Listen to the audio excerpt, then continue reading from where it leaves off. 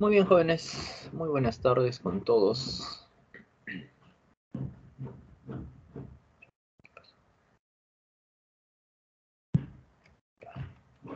Muy buenas tardes con todos. Bueno, vamos a comenzar con nuestra clase, ¿ya? Nuestra clase eh, del día de hoy. A ver, temas a trabajar el día de hoy va a ser lo correspondiente a rutas y trayectorias, ¿sí? Y lo otro, vamos a hacer algunas aplicaciones este, con el área de, eh, de regiones, ¿ya? Área de unas regiones este, planas, eh, ya sea ya este, circulares o, este, o poligonales, ¿no? Bueno, entonces empezamos. A ver, empezamos primero con este, lo que se refiere a rutas y trayectorias, ¿sí? Bien, dentro de rutas y trayectorias. A ver, en este caso, este es un, en este tema vamos a ver algunos problemas relacionados con las diferentes formas de viajar, de una ciudad a otra o de un punto a otro. También cuando alguien realiza un recorrido más largo o coma, etc. Bueno, para ello se requiere algunos conceptos y unos principios básicos que van a facilitar el proceso. ¿Qué conceptos son estos que les estoy comentando? Bueno, los conceptos son los siguientes. Primero, se refiere al de ruta. ¿Qué es una ruta? Bueno, una ruta es el camino que se sigue o que se proyecta seguir en un determinado viaje. Ya, entonces eso es ruta. Siguiente, trayectoria. ¿Qué es una trayectoria? La trayectoria es el recorrido o dirección que sigue alguien o algo al desplazarse. Siguiente, un camino. El camino es la dirección que ha de seguirse para llegar a algún lugar. Punto. Punto es el elemento geométrico sin dimensiones cuya longitud es cero. Y por último, un tramo. Un tramo es la parte comprendida entre dos puntos que forman parte de una línea, especialmente eh, un camino o una vía, ¿no? Si perdón, su longitud en este caso de un tramo es mayor a cero, ¿ya? Bueno, con respecto a ruta, trayectoria y camino, creo que no hay inconvenientes, ¿no? Todo esto queda claro. Bien, también en los conceptos de punto y tramo también no hay inconvenientes, pero yo quiero más detenerme en esta parte, ya en lo que es un punto y un tramo. ¿Qué cosa dices un punto? Bueno, un punto, dice, es un elemento geométrico, por ejemplo este, que no tiene medida. ¿Ya? No tiene medida. O sea, ¿cuál es su longitud? Su longitud es cero. Entonces, ah, y después lo otro, un tramo. ¿Y qué será un tramo? Bueno, un tramo, dice, es parte de un camino que está comprendido entre dos puntos. Es parte de un camino. Y en este caso, su longitud, la longitud de un tramo, es mayor a cero. Bueno, entonces, ¿qué podríamos notar? Podríamos notar que un punto no es lo mismo que un tramo. Profe, claro, esto queda claro, pues, ¿no? Esto es claro porque de uno su longitud es cero y del otro su longitud es mayor que cero. Bien, pero ¿por qué hago esta diferencia? Hago esta diferencia porque más adelante van a haber algunos ejercicios donde nos pueden decir sin repetir punto. O sea, si te prohíbe repetir punto, entonces de hecho que no puedes repetir tramo, porque los tramos están conformados por puntos. Pero al revés no. Si te prohíbe repetir un tramo, entonces sí puedes repetir punto, porque un tramo no es lo mismo que un punto. ¿Ya? ¿Sí? Entonces, eso es lo que este, vamos a ir utilizando. ¿Sí? Entonces, eso espero que quede claro, por favor, ya chicos. Entonces, no se olviden ahí que es un tramo, que es un punto. Muy bien. A ver, ¿qué, elementos este, podríamos tener en cuenta para la resolución de los problemas? Bueno, dentro de la resolución de los problemas sería ideal sería ideal, bueno, y eso digo ideal porque no siempre se logra, que nosotros podríamos reducir algunos principios básicos, ¿no? para poder hacer, o mejor dicho, para no estar haciendo tanto cálculo, ¿no? ¿Cuáles son esos principios básicos? Esos principios básicos son el principio de adición y el principio de multiplicación, ¿ya? Y para que entender todo esto y no haya, pues, este, dudas, podríamos este, hacer mediante un ejemplo. ¿no? Entonces, ¿qué será el principio? ¿Cómo se aplica el principio de adición? Por ejemplo, vamos a tener así. Ah, este, ustedes tienen aquí botes, ¿no? Este, para que sea más este, adecuado el ejemplo, vamos a cambiarle por teleféricos, ¿ya? Entonces va de esta manera, ¿ve? Dice que Andrea va a visitar a sus abuelos que viven en el, en el departamento de Amazonas. ¿De cuántas formas este, puede cruzar el río sabiendo que se dispone de tres teleféricos y cuatro puentes? ¿Ya? Hay tres teleféricos, dice, y cuatro puentes. ¿Sí? Bien, entonces quiere cruzar acá, dice un río, un río, pero para esto dispone de tres teleféricos. Uno, dos, tres teleféricos. Y también dice dispone de cuatro puentes, ¿no? Entonces, como dispone aquí de un total de cuatro puentes, va a estar por acá de repente un puente, dos puentes, tres puentes, cuatro puentes. Entonces, ¿de cuántas formas distintas dice puede este, cruzar? Bueno, entonces, cuando nuestra amiga Andrea vaya, pues, ¿no? Este, a hacer el recorrido y quiera cruzar el río, va a decir así. Ella puede utilizar el teleférico y para el teleférico hemos dicho que hay tres opciones. O si no, ella puede utilizar, ¿qué cosa? Puede utilizar, voy a ponerle acá el O, o si no, puede utilizar los puentes. Y hay un total de cuatro puentes. Entonces, cuando hace el recorrido, puede recorrer uno, dos, tres formas por el teleférico, cuatro, cinco, seis y siete, más esas cuatro formas por los puentes.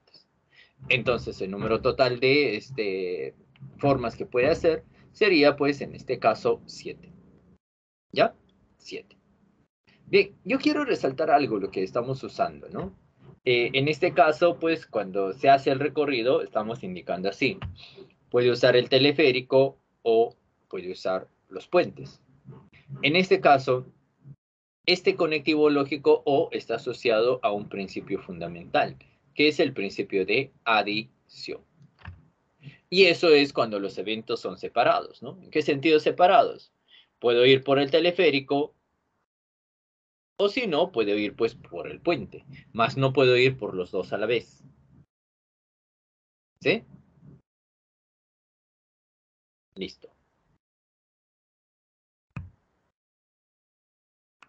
Muy bien. Pero ahora de repente se estarán preguntando, ¿no? Profe, pero a veces este, yo he visto que este, multiplica. Claro, en este caso este, se multiplica. ¿Cuándo se multiplica? Bueno, se multiplica, como acá muy bien dice, cuando utilizamos el principio de multiplicación, ¿no? Y eso podríamos entender de la siguiente manera, ¿no? Dice, de la ciudad A a la ciudad B se puede ir mediante tres rutas. Acá hay que ponerle también tres rutas, ¿ya? De la ciudad B a la ciudad C se puede ir mediante dos rutas. ¿Sí? Dice, ¿de cuántas formas diferentes se puede ir de la ciudad A a la ciudad C, pasando por B y sin retroceder en ningún momento? ¿Ya?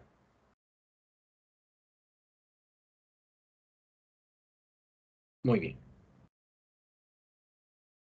A ver. En este caso, fíjense cómo se tiene que hacer el recorrido. ¿ah?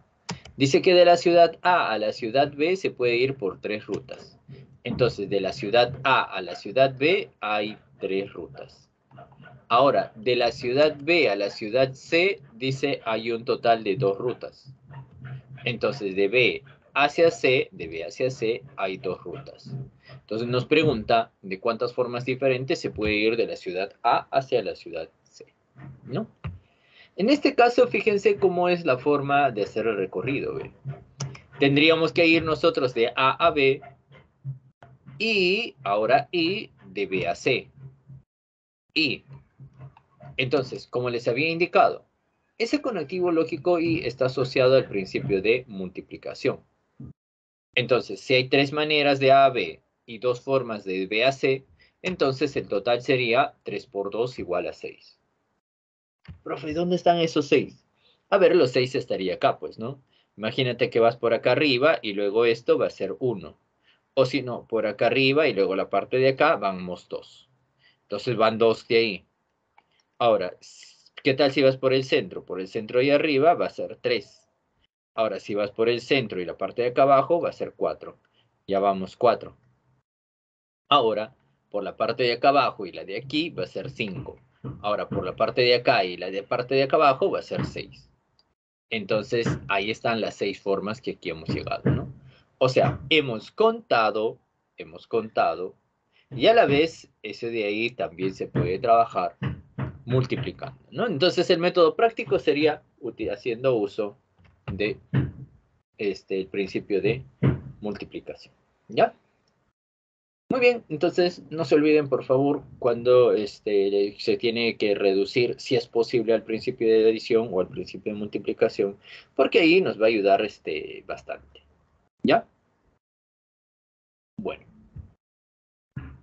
A ver, de repente se dirá, ¿no? Profe, este, ¿cómo me voy a dar cuenta si utilizo el principio de adición o multiplicación? Bueno, en principio de multiplicación sería pues cuando hay así eventos consecutivos, ¿no? Por ejemplo, estás así, de A a B, de B a C, de C a D. Entonces, cuando encuentres esto, multiplicas, ¿no? Si por acá encuentras 2, por acá 3, por acá 1, multiplicas esto y ya tienes el resultado. ¿Sí? Y principio de adición es cuando se separa, pues, ¿no? Los eventos independientes. Puede ser de A a B y luego por acá de B a C. Entonces, estos eventos aquí son independientes. ¿Sí? Entonces, ¿qué se hace acá? Allá, ah, lo que se hace es sumar, ¿no? Si, por ejemplo, acá yo tengo dos formas y aquí tres formas, entonces lo que se hace es sumar 2 más 3. ¿Ya? Entonces, no se olviden, ¿ah? Si están así eventos independientes, se suman. En cambio, si es dependiente, uno después del otro, ese de ahí se multiplica. ¿Ya?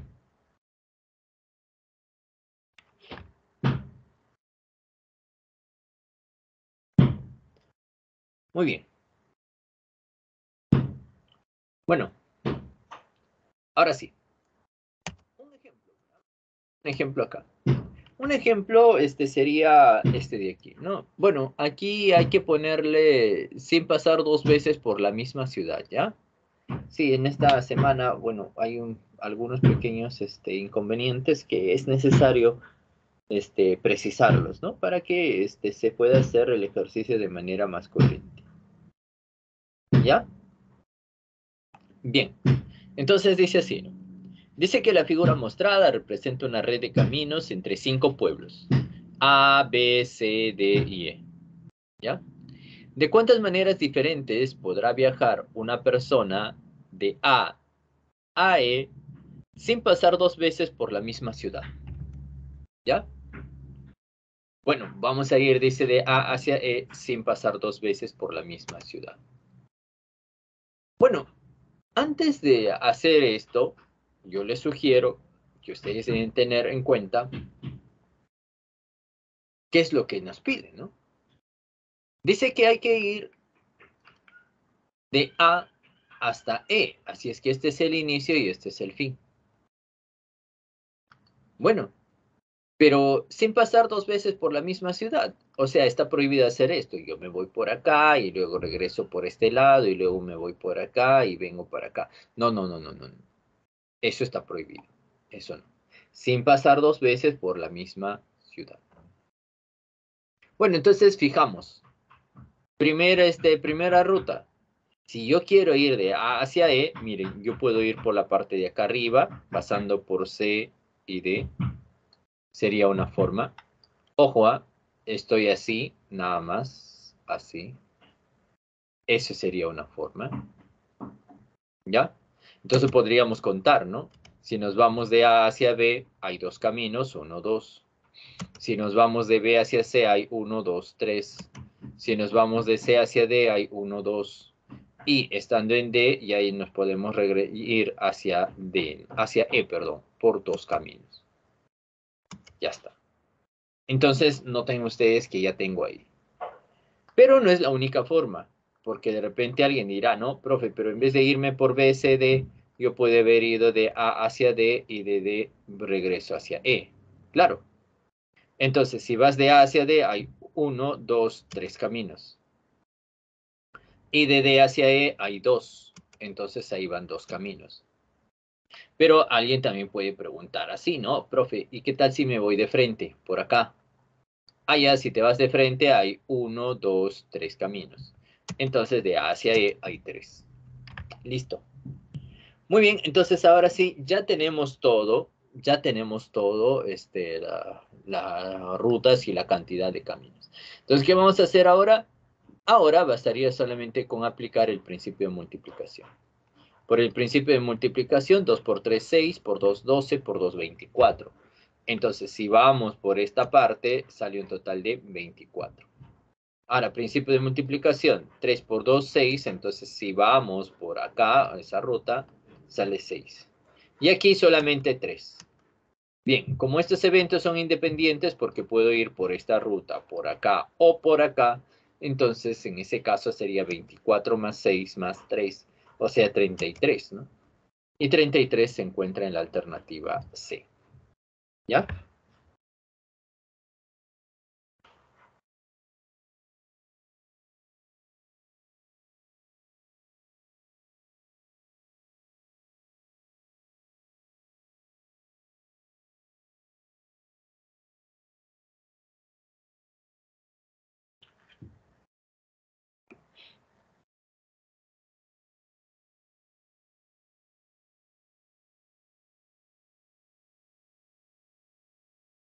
Muy bien.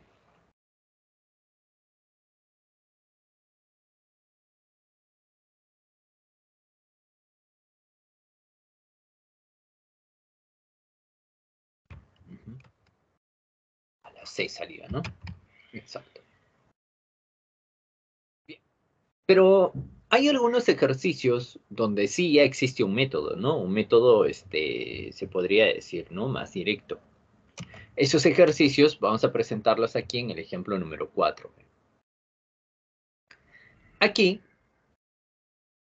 se van a presentar algunos problemas donde nos dan direcciones, ¿no? Por ejemplo, fíjense que acá dice que en la figura mostrada, recorriendo solamente por los segmentos hacia la derecha o hacia abajo, ¿cuántas rutas distintas existen para ir desde el punto A hasta el punto B? ¿Ya? O sea, de cuántas formas distintas se puede ir del punto A al punto B. Pero, ¿cuál es el detalle? Ah, el detalle está en que esta vez nos dan direcciones, ¿ve? Nos dicen para ir a la derecha o nos dicen para ir hacia abajo. Entonces es hacia la derecha o hacia abajo. ¿Ya?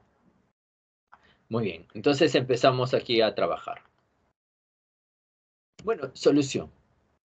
Vamos a determinar aquí primero por el método del conteo. Profe, ¿cómo es el método del conteo? Bueno, el método del conteo consiste en colocar, pues, ¿no? Este, números e ir contando uno a uno. ¿Sí? Por ejemplo, ustedes imagínense que tienen así, ¿no? Vamos a ir de A hasta B. ¿De cuántas formas distintas se puede ir de A hasta B? Entonces sería de esta manera. Se analiza punto por punto, ¿ya? Aquí está el punto y ahora a ver, si yo voy a la derecha, yendo solamente a la derecha o hacia abajo, ¿ah?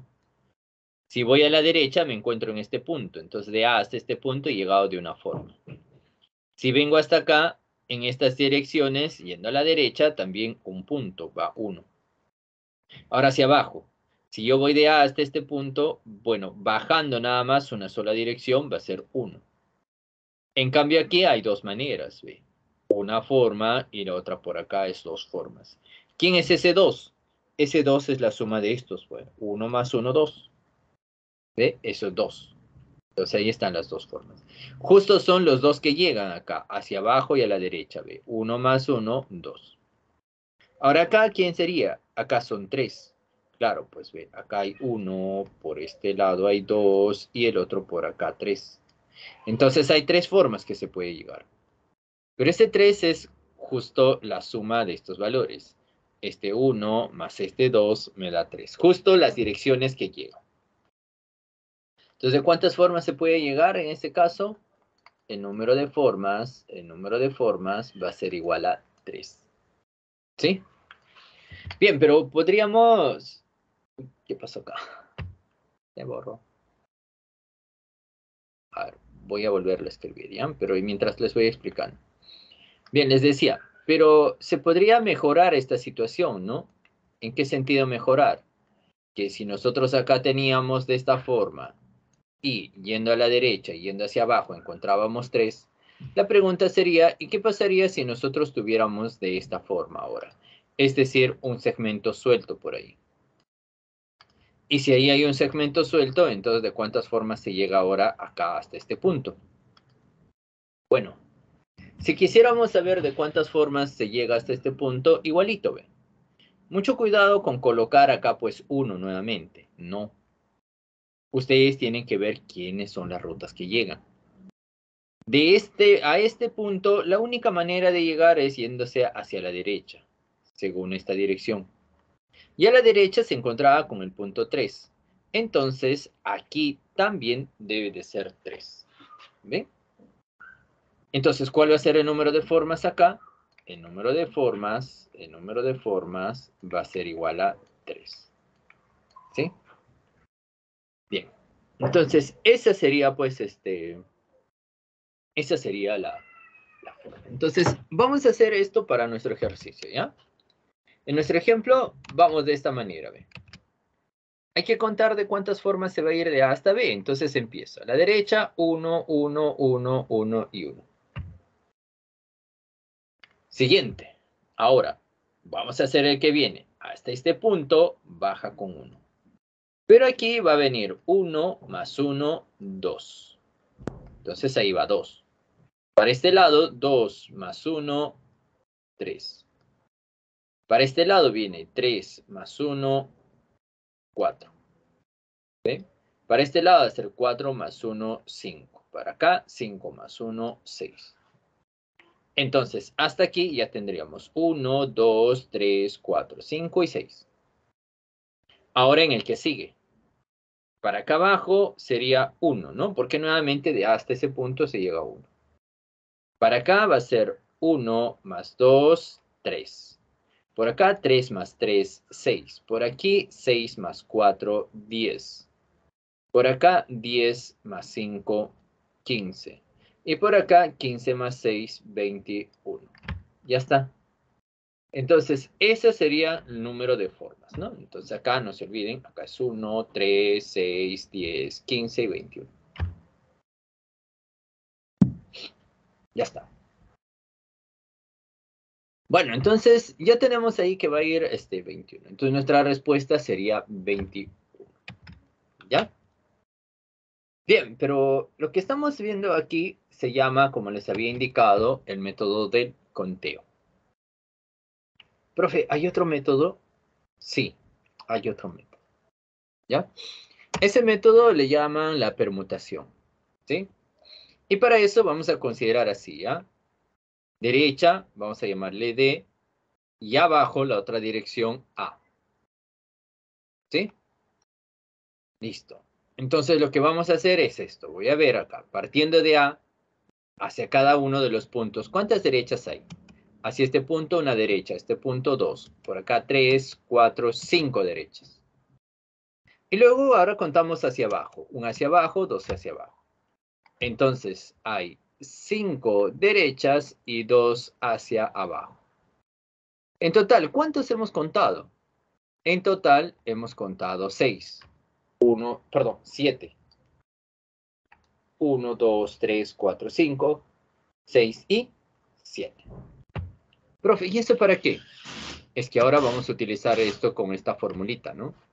La formulita de la permutación con repetición. Este de acá es permutación con repetición del total sobre cada uno de estos valores, donde estos valores sumados es el que me da el total. Y eso por definición era factorial de n sobre el producto de los factoriales, ¿no? De estos valores. Bueno, entonces llevándole a los ejercicios, a nuestro ejercicio, esto va a ser el total. Entonces sería permutación con repetición de 7. Y estos dos serían pues los separaciones, ¿no? Entonces acá va a ser en 5 y en 2. Bien. Entonces ya tendríamos la permutación con repetición de 7 en 5 y 2. Esto por la definición va a ser factorial de 7 sobre factorial de 5 por factorial de 2. Ahora, ¿cómo se opera? Bueno, ¿no? Si ustedes tienen factorial de 7 sobre factorial de 5 por el factorial de 2, hay que recordar por propiedad que factorial de 7 es 7 por 6 por el factorial de 5. Sobre factorial de 5 y el factorial de 2, eso es 2. Cancelamos estos dos, 7 por 6, 42, entre 2 sale 21. ¿Ven? Entonces ahí están los 21, que justamente coincidió con este. Son iguales. Por lo tanto, ahora sí ya podemos concluir, ¿no? El número de formas ahí, que se puede ir de A hasta B, siguiendo estas direcciones, sería 21. Ya está. Bien. Ahora, ¿cuál de repente parece más fácil? Bueno, esta técnica de acá, con la formulita, aparentemente es más fácil. Bueno, aparentemente no. Sí es más fácil en los cálculos. Pero, ¿cuál es la desventaja? La desventaja es que esta formulita funciona solamente cuando la estructura o la regía esté completa. Como acá, ¿no? Acá está completa. Profe, ¿qué se refiere con completo? Por ejemplo, ¿qué hubiese pasado si este no hubiese estado, esta varilla? O esta varilla no está. O esta varilla no estaba. Entonces, ¿qué hubiese pasado ahí? Bueno, esta estructura ya no está completa. Entonces, como está, ya no está completa, ya no funciona pues esta técnica.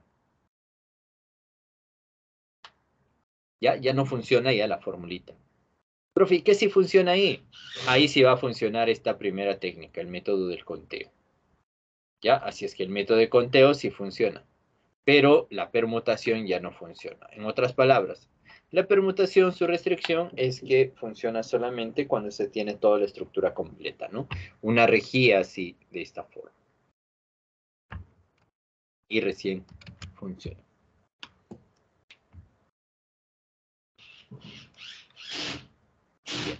¿Alguna duda? ¿Se entendió? ¿Hay alguna duda o alguna consulta?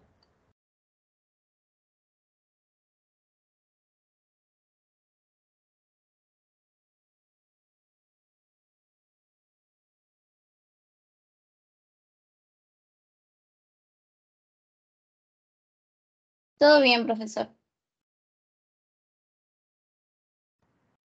Perfecto, entonces todo bien, dice, ¿no? Bueno, entonces Vamos a generalizar, ¿ya? Vamos a generalizar. Ya, ojo, a otra observación. ¿Cuándo utilizamos esta técnica de colocar números? Esa técnica se utiliza cuando nos den direcciones, ¿ya? Porque si no me dan direcciones, ahí sí no puedo utilizar, ¿ah? ¿Sí? Ya, a ver. Les decía, vamos a generalizar este hecho y una forma de generalizar sería pues en estructuras tridimensionales, ¿no? Por ejemplo, esta vez. Dice que la figura representa una estructura hecha de alambre. ¿De cuántas maneras diferentes se puede ir del punto A hasta el punto B? Siguiendo por los segmentos del alambre y desplazándose solo a la derecha, hacia abajo o hacia el frente.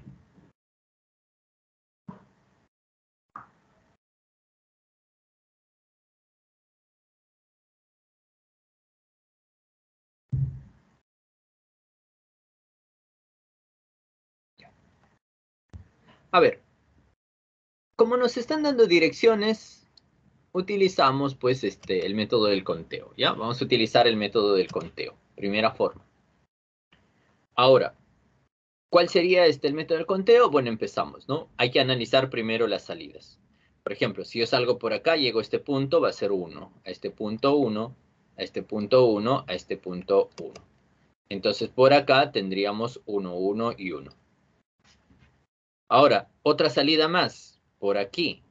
Llegó a este punto, va a ser 1. Pero eso ya me ayuda para terminar toda la parte superior, ¿no? A este viene al frente y a la derecha, 1 más 1, 2. ¿Ven? 2. A este viene a la derecha y al frente 2 más 1, 3. ¿Ven? Acá 3 más 1, 4. Aquí 4 más 1, 5. Entonces ya tenemos acá que sería 1, 2, 3, 4 y 5. Y ahora la otra salida que nos falta sería esta, hacia abajo. Si vamos hacia abajo, acá sería 1. Ahora por acá va a ser 1 más 1, 2. ¿Sí? Ahora para este lado llega a la derecha y hacia abajo, va a ser 2 más 1, 3. Aquí llega a la derecha y hacia abajo, 3 más 1, 4. Y por acá, 4 más 1, 5. Entonces, ya haciendo ese recorrido sería pues 1, 2, 3, 4 y 5. Y eso ya nos va a ayudar pues este, a terminar con todo, ¿no? Por ejemplo, acá va a ser 1 más 1, va a ser 2. Por acá va a ser, miren, ¿ah? acá sí llegan las tres direcciones, ¿ah? A la derecha, abajo y al frente. 2 más 2, 4, más 2 sería 6. Por acá, derecha, al frente y abajo. 3 más 3, 6, más 6 va a ser 12. ¿Ven? Igual por acá, 4 más 4, 8, 8 más 12 va a ser 20. Y por acá, 5 más 5, 10, más 20 va a ser 30. Ya está, entonces acá va a ser 2, 6, 12, 20 y 30. Listo. Bien, entonces ya teniendo esto, ah, entonces nuestra respuesta iba a ser un total de 30.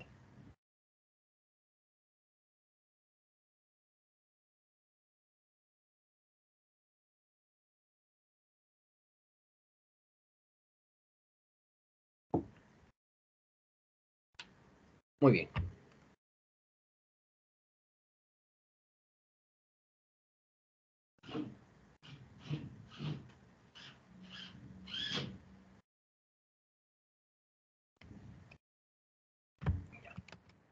Pero esta es la primera técnica, ¿no? La otra técnica, ¿cuál es? También acá funciona la permutación, ¿no? Vamos a hacer la segunda forma, que es la permutación. ¿Cómo sería esta segunda forma? Igual, ¿no? Vamos a ver, ¿cuántas derechas hay acá? Para la derecha, acá hay 1, 2, 3, 4. Allá, entonces hay cuatro derechas. Hacia abajo hay un hacia abajo. Y para llegar a B hay uno que va al frente, uno al frente. Entonces el total sería 6. ¿Ya? Entonces son 6.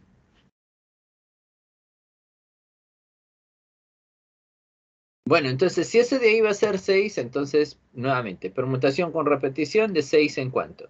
En 4, 1 y 1. 4 y 1 y 1. Bueno, entonces esto sería el factorial de 6 sobre factorial de 4 por factorial de 1 por factorial de 1. Ya, ahora, ¿cómo se calcula esto? El factorial de 6 sobre el factorial de 4 por el factorial de 1 por el factorial de 1. Bueno, factorial de 6 sería 6 por 5 por factorial de 4 sobre factorial de 4 está por acá, factorial de 1 es 1, factorial de 1 es 1. Eliminamos esto y ahí nos sale los 30, ¿no? Entonces ya está, ya tenemos que sale 30. Cualquiera de los dos. Entonces por cualquiera de las dos opciones, nuestra respuesta va a ser la alternativa D.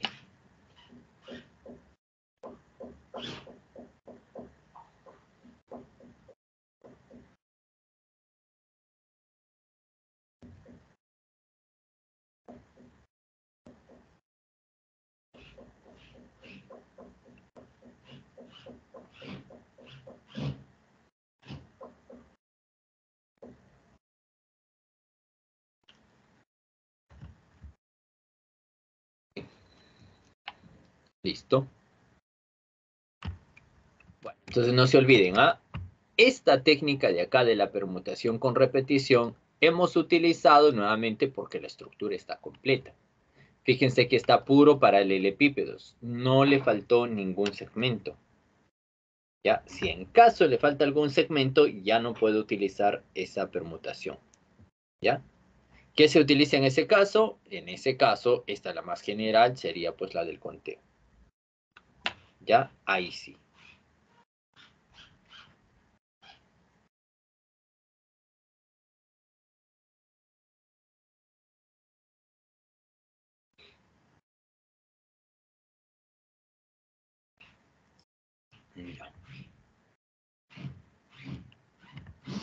A ver.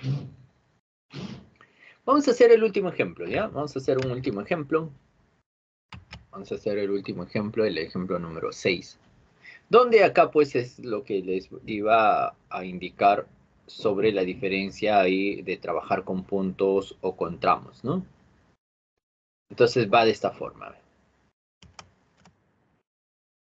Dice así. Dice, la figura muestra dos rombos y una circunferencia. Una no, no, es una, ¿ya? Y una circunferencia debe ser. O en total vamos a poner y cuatro circunferencias, ¿no? Ya. Recorriendo por las líneas, de cuántas maneras diferentes se puede ir del punto M hasta el punto N sin repetir tramos. ¿Ya? No se puede repetir tramos.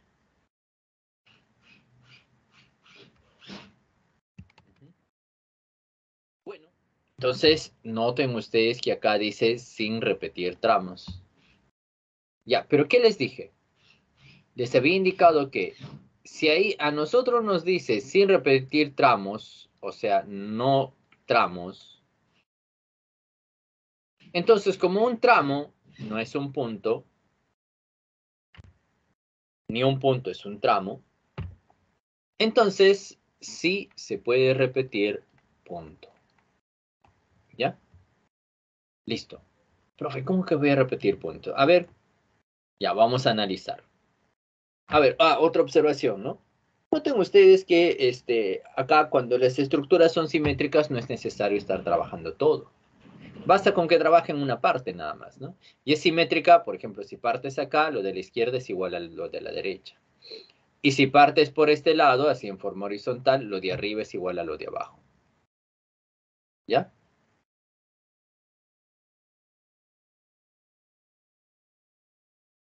Bien.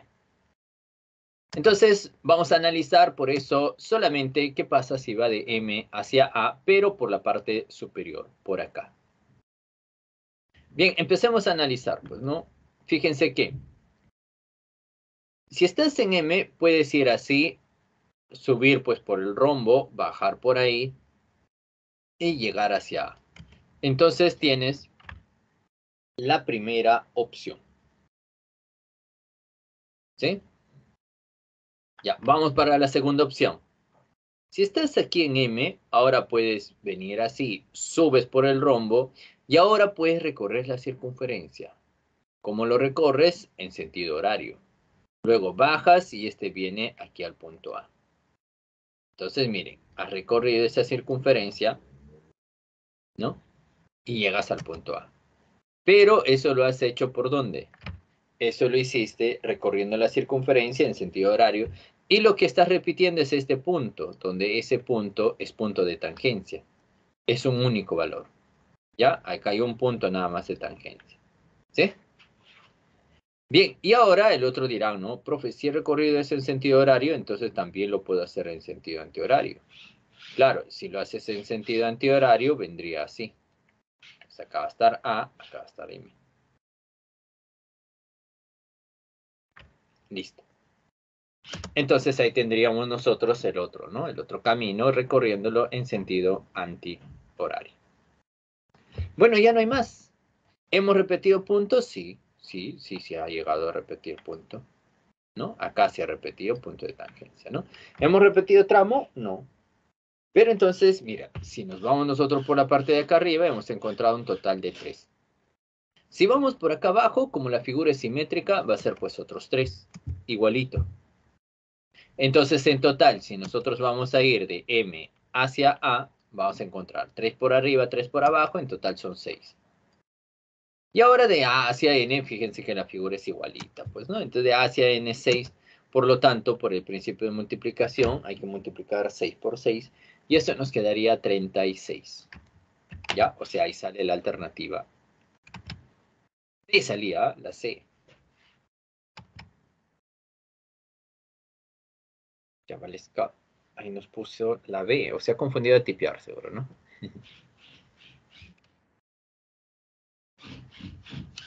ya.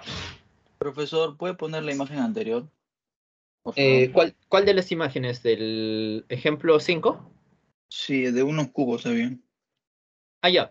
Ya, listo. ¿Me permite un ratito, por favor, terminar con la idea? ¿Ya? Termino con la idea y ahorita la coloco, ¿ya? Por favor.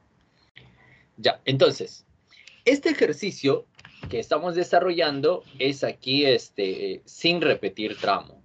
Pero ¿qué pasaría si en el ejercicio nos hubiese dicho sin repetir punto? ¿Habrá alguna diferencia? Sí.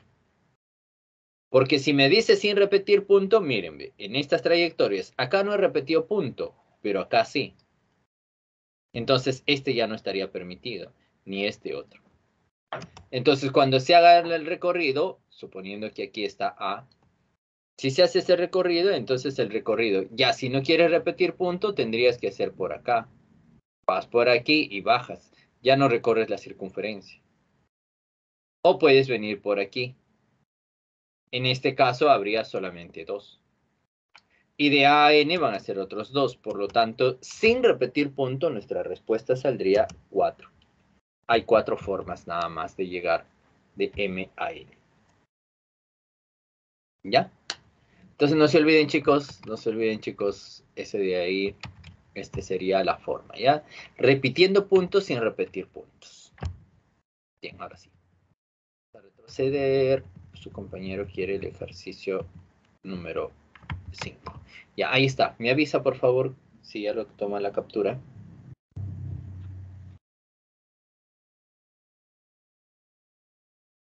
Ya está, profe. Ya, muy bien. Bueno, entonces nos hemos quedado acá.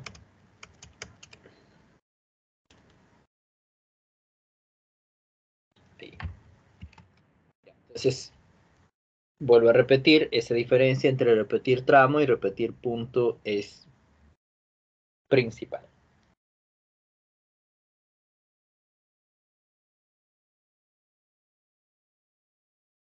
Profesor, una pregunta. Sí, le escucho. multiplica porque se podría decir que de, va de M a A y de A a N, ¿verdad? Exacto. Y después por el, por el I más que nada. Exacto, ¿no? Por el I. Gracias. Muy bien.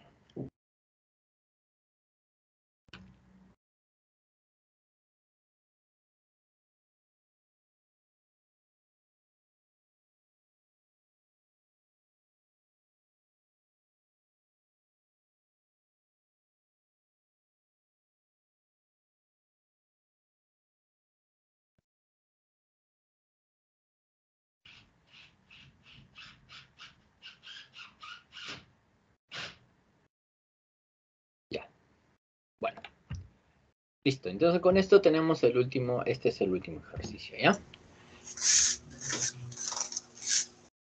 Entonces, miren, ya hasta aquí, este, cuando vean este tipo de problemas, hay que estar atentos a muchas posibilidades, ¿ya? ¿Cuáles son este, esas posibilidades? Primero, si se puede reducir al principio de adición o al principio de multiplicación. ¿Ya? Primero. En segundo lugar, ver si se puede, si nos dan direcciones. Si nos dan direcciones, entonces utilizamos el método del conteo. O si no, este, solamente este, eh, la formulita. Ya, si en caso está completo. Bien. Y el último sería, pues, este, estando atentos a que si nos piden repitiendo tramo o sin repetir tramo. entonces, esas son las consideraciones. ¿Sí? Bueno, pero si en caso no hay ninguna de esas, ¿saben qué? En ese caso no tenemos otra opción más que ponernos a contar. ¿Contar, profe? Sí. A veces se tiene que poner a contar todo. ¿Ya? Y para que no se confunda, el conteo hay que tratar de utilizar algunas características, ¿no? Como por ejemplo que la figura puede ser simétrica. Eso ayuda bastante. Y lo otro, obviamente, si vas a contar algo, tiene que ser de forma ordenada. ¿Ya? No contar por contar. A ver. Entonces vamos aquí a hacer los ejercicios de clase, ¿ya? Del ejercicio 1 a la 5. Empecemos con el ejercicio 1. En el ejercicio 1 dice así, Dice que la figura mostrada es un cubo, es un cubo. recorriendo solamente por las aristas del cubo, sin pasar dos veces por el mismo punto, ¿cuántas rutas distintas existen desde el punto P al punto Q? Ya, entonces queremos, dice, la cantidad de rutas distintas del punto P al punto Q.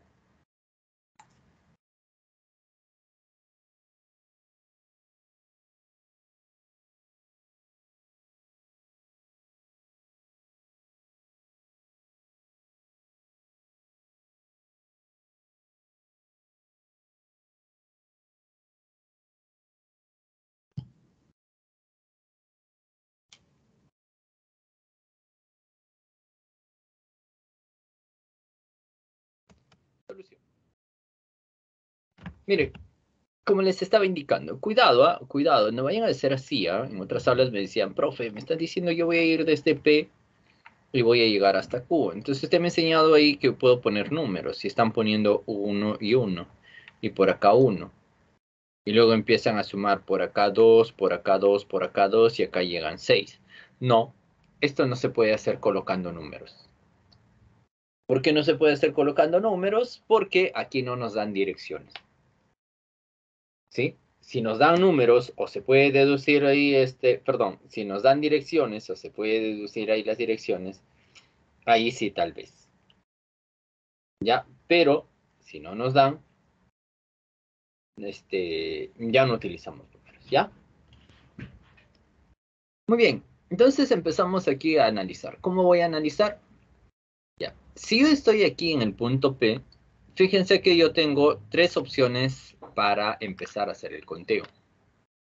Yo puedo irme hacia B, puedo irme hacia A o puedo irme hacia C.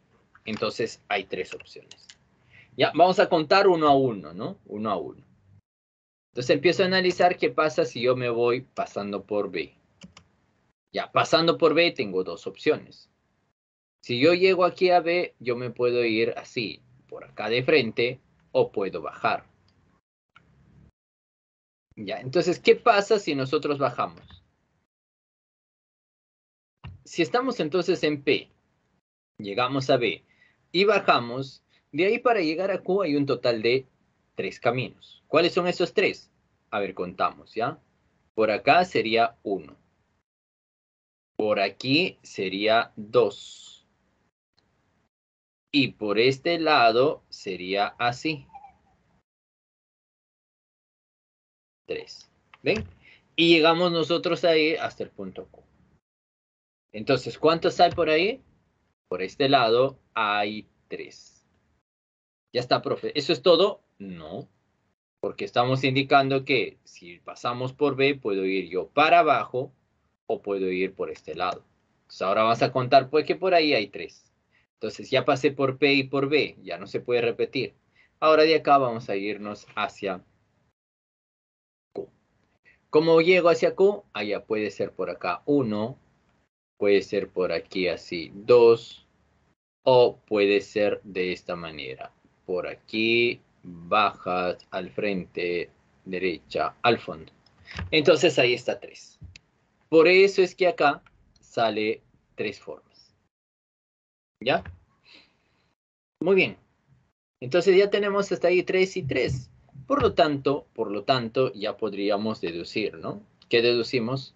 Deducimos que si vamos de P a B, va a haber un total de cuántos? Va a haber un total de 3 más 3, que eso sería 6. Hay 6 formas de llegar de P hacia Q. Bien. Profe, ¿y ahora qué pasaría si yo quisiera pasar por A? Bueno, entonces vamos a poner ahí, pasando por A. Pero miren, noten que la figura aquí es simétrica, pues ve. Lo que está aquí adelante es igual a lo que está ahí atrás. Entonces, si la figura es simétrica, creo que sin ningún problema podríamos apoyarnos en la simetría.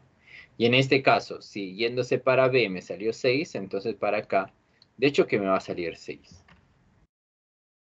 Ahora solamente faltaría analizar la parte de abajo, pero estoy seguro que ustedes ya estarán intuyendo cuánto sale pues para abajo, ¿no?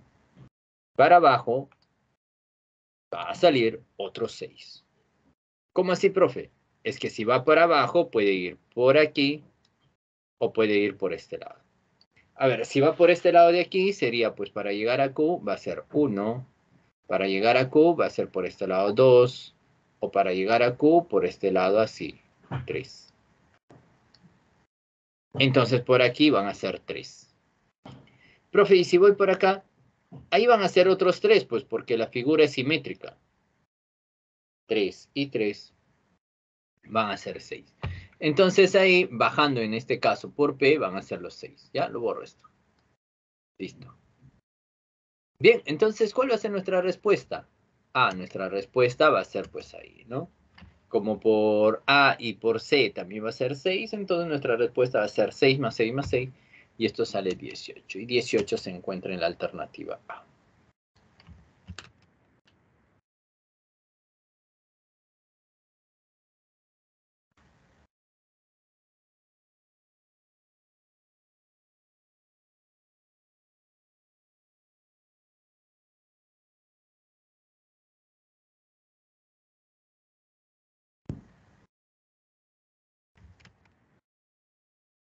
Muy bien, entonces eso sería cuando este, se tienen que trabajar, pues, contando.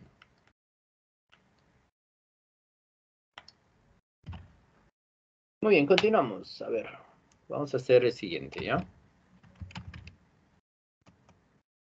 A ver, problema número 2. A ver, ¿hicieron la 2? A ver, ¿cuánto les sale a la 2? ¿Ya? A ver, les dejo un minuto. Ya, un minuto para la 2, a ver qué, o, qué alternativa ya les salió.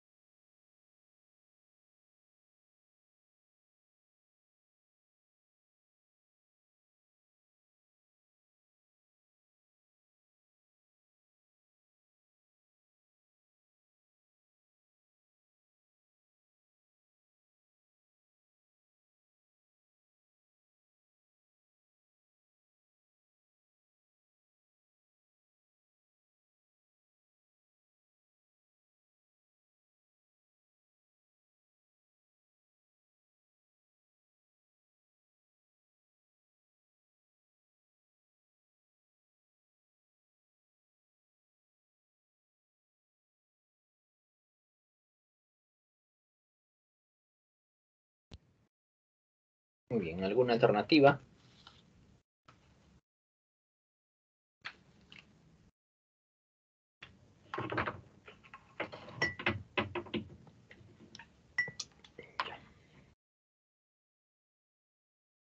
A ver, vamos a ponernos entonces a desarrollar. A ver, dis-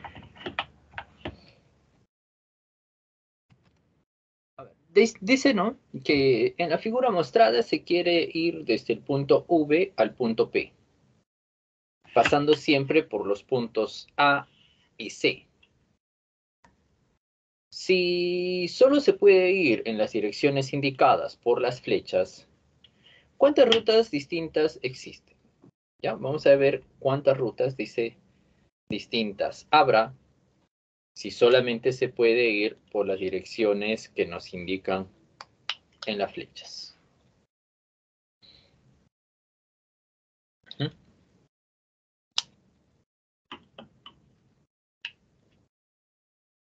Ya. Ojo que en este caso nos están dando direcciones, entonces yo creo que ya más o menos nos vamos intuyendo, ¿no? Si nos dicen o nos dan direcciones, de hecho que tenemos que empezar a buscar qué cosa, o utilizar la técnica con números, ¿no? Entonces vamos a utilizar ahí esa técnica colocando números, ¿ya? Pero acá hay un detalle, ¿ah? ¿Saben cuál es el detalle? Ya nosotros nos está diciendo esto, que siempre se debe pasar por los puntos A y C. O sea, yo parto desde V y tengo que pasar por A allá. Entonces, si voy a pasar por A, solamente la única manera de pasar por A es considerando esta parte de la estructura. ¿Sí? En las direcciones dadas, ¿ah? Ahora, se estarán preguntando, ¿no? Profe, pero ¿y qué? ¿Y qué pasó? ¿Que no puedo ir más acá abajo? No, porque mira, si ustedes, por ejemplo, pasan de este nivel de A hasta este punto, y luego intentan pasar por A, bueno, sí puedes bajar, sí puedes ir a la derecha, pero para que vayas por A en algún momento tienes que subir y así llegar hacia A. Y está prohibido subir. Entonces, no puedes ir más allá del nivel de A, ya sea horizontal como también vertical. O sea, debe estar dentro de, esta, de este rectángulo nada más, pues, ¿no? Que une a estas dos. Entonces, ahora, pues, ¿no? Si nosotros quisiéramos, por ejemplo, de A a C, bueno, de A a C también, pues, no puedo pasar yo más allá del nivel de C.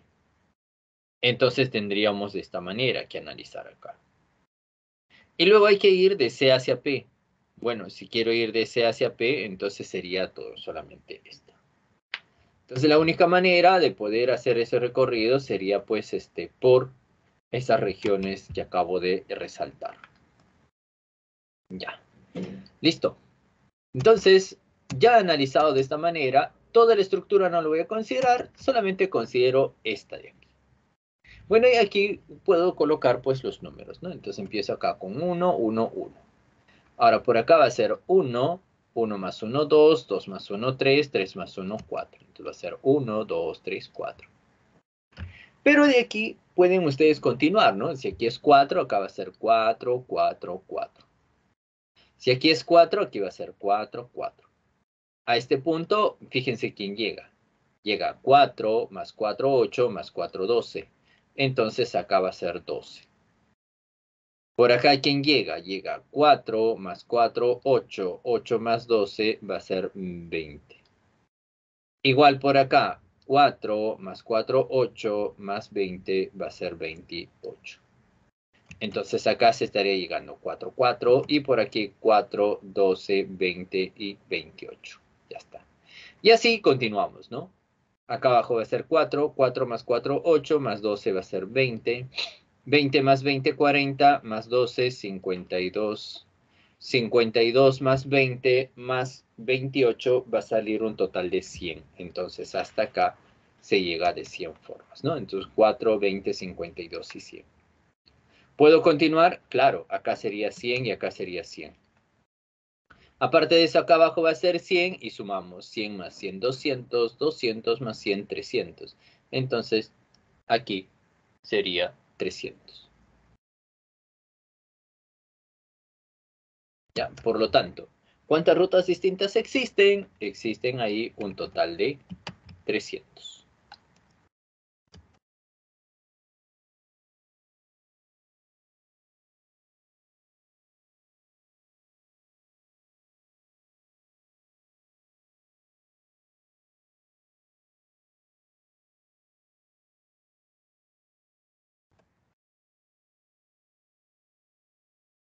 Entonces, no se olviden, ¿ya? No se olviden, por favor, cada vez que analicen de esta manera, tienen que fijarse por dónde, por dónde es este,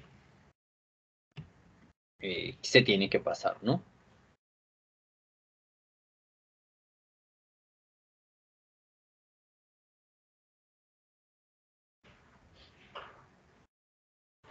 Listo, continuamos. Vamos a hacer ahora el otro ejercicio, ¿ya? Ejercicio número 3.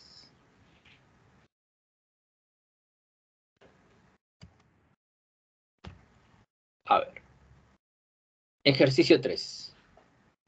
Dice que la figura muestra una estructura hecha de alambre. Recorriendo por el alambre sin pasar dos veces por el mismo punto, ¿cuántas rutas distintas existen desde el punto A al punto B? Ya queremos, dice, la cantidad de rutas que van a existir, dice, desde el punto A hasta el punto B. Ya, mucho cuidado, ¿ah? Si bien es cierto, esta es una estructura hecha de alambre, pero no significa que ustedes tienen que completar, ¿ah? otras aulas me estaban diciendo así, profe, acá falta este segmento, este segmento y este segmento para que sea un paralelepípedo. Bueno, resulta que no nos dicen que es un paralelepípedo. ¿ya? Solamente se, se tiene esa estructura. Pero no necesariamente es un paralelepípedo. ¿Ya? Bien, entonces, ¿cómo vamos a hacer ahora? Ah, otra cosa. Fíjense que no nos están dando direcciones. Si no nos están dando direcciones, ya sabemos qué tenemos que hacer. Vamos a tener que ponernos a contar. ¿Ya? Entonces, vamos a llamarle acá el punto n y hay que contar primero cuántos hay de A hasta n y luego de n hacia b. ¿Ya? Entonces, de A hasta n y luego de n hacia b. ¿Sí? Entonces, empezamos. Miren, si yo parto de A, puedo irme de frente o puedo ir para acá arriba. Ahora, si voy por acá arriba, tengo dos opciones. ¿Ya? Imagínense que cogí esta parte voy para arriba. Ahora de acá puedo ir por este lado o puedo ir por aquí. Bueno, entonces hay que analizar ambas situaciones, ¿no? Entonces voy a analizar primero si voy por arriba. Si voy por arriba, voy a tener así. Por acá, vamos a ver que hay cuatro. Profe, ¿cuatro? Sí, miren, ¿ah? miren cuáles son los cuatro. ¿ah? Si voy por este lado y para acá, va a ser uno. Y si voy por este lado y para aquí, va a ser dos. Ajá. Ya van dos. Profe, ¿y los otros? Ah, los otros están por acá, pues ve. Por aquí, perdón. Por acá va a estar tres. Y el otro sería este de aquí, ve. Ya está. Cuatro. Entonces ya están los cuatro, pues. Entonces, por la parte de acá arriba sale cuatro. Listo. Bueno, falta todavía analizar, ¿no? La parte de acá abajo. Ahora, ¿cuántos hay por la parte de acá abajo? Si nosotros vamos por acá abajo, vamos a encontrar tres. ¿Dónde están los tres? Ya, por acá va a estar uno. Por este lado va a estar otro, dos. Y otro, profe, por acá, pues ve. Por este lado así. Listo. Ahí están los tres. Entonces ya tenemos que son un total de tres. ¿Sí? Listo.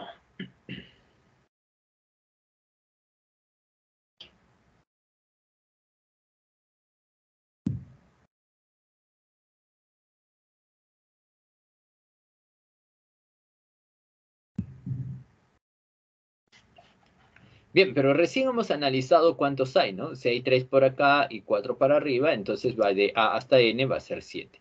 Ahora faltaría solamente de N hasta B. Pero de N hasta B también tengo dos opciones. O voy por este lado o voy por acá. Entonces hay que contar. Si voy por acá, van a haber dos. ¿Cuáles son los dos, profe? Acá está, pues, ve. Uno y el otro por aquí, dos. ¿Ven? Ahí están los dos. Bueno, y si vamos por este lado, también hay otros dos. ¿Cuáles son esos dos, profe? Por acá, uno. Y el otro va a ser por aquí, dos. Entonces ahí son un total de 2. 2 y 2, 4. Entonces ya tenemos 4. Por lo tanto, principio de multiplicación, 7 por 4, 28. Entonces va a haber un total de 28 formas para ir en este caso, de A hasta B.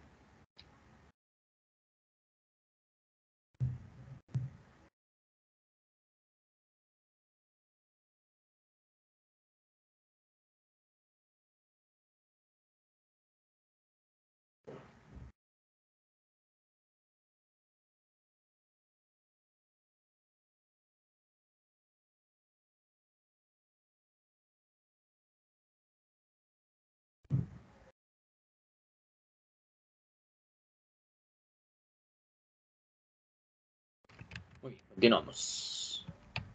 No sé si hay alguna consulta o alguna duda hasta ahí. Profesor, ¿podría hacer los cuatro trazos de A hacia arriba, por favor? Ah, ya, claro. A ver, vamos a hacerlo, ¿ya? Vamos a hacerlo con este color. Ya. Primer trazo que habíamos dicho por acá, ¿no? Por acá, uno.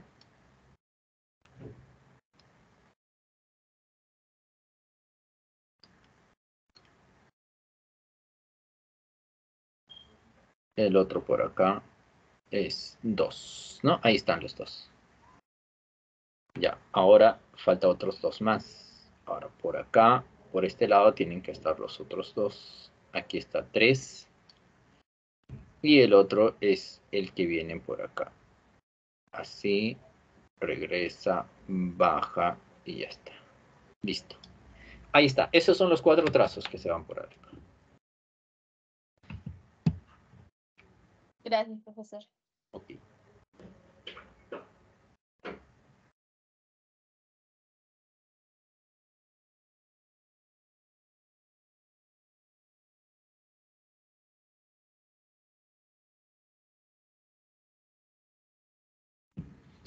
Ya, muy bien.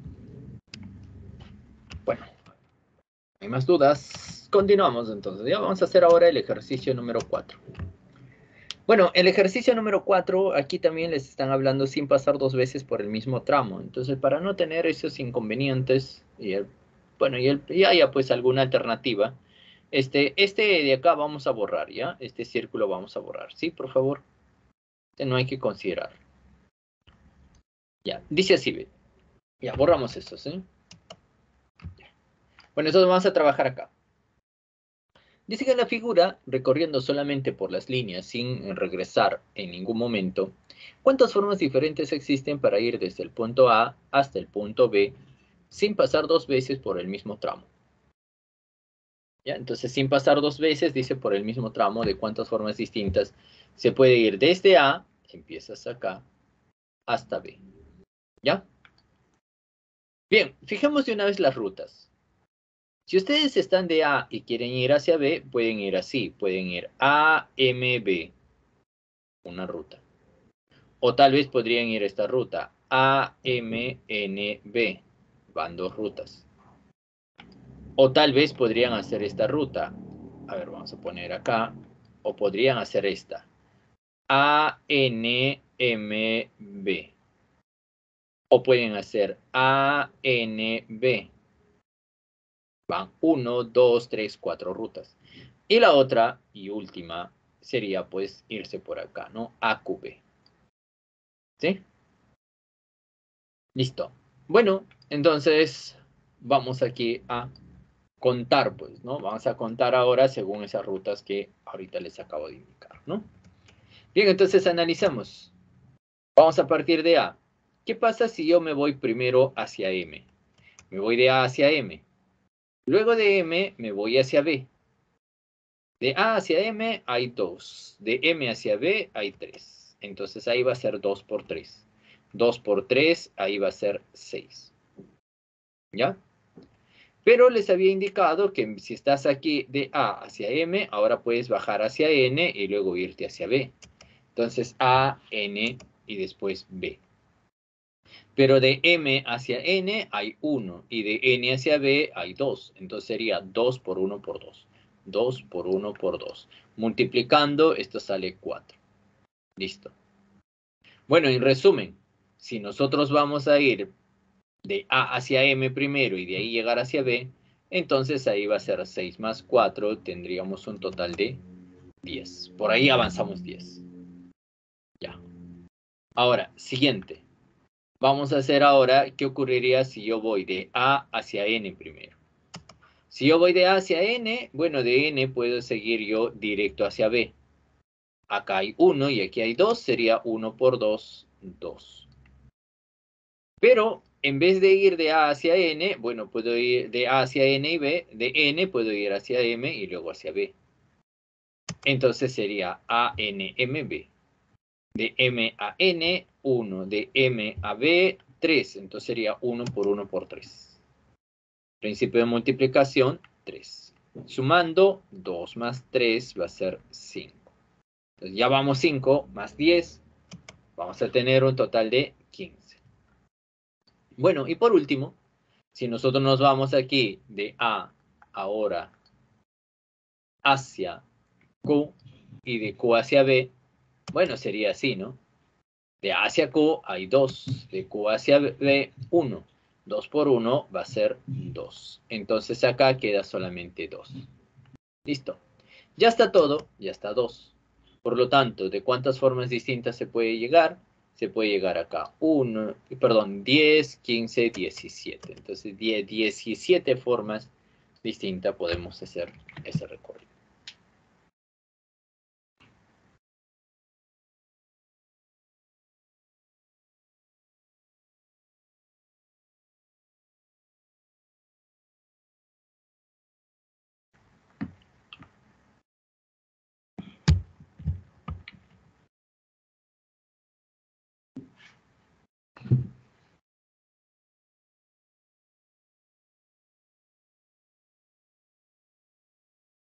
Muy bien. Y para terminar, vamos a hacer el último ejercicio. Vamos a hacer el último ejercicio, el ejercicio número 5.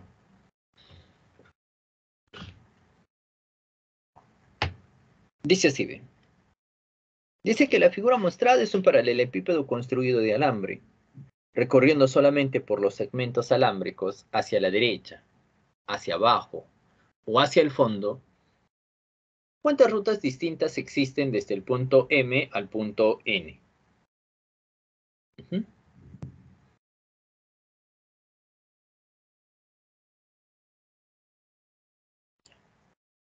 Bueno, entonces queremos la cantidad de rutas distintas, ¿no? ¿Qué hacemos? Primero, creo que podríamos fijar esto, ¿no? Vamos a llamarle aquí A.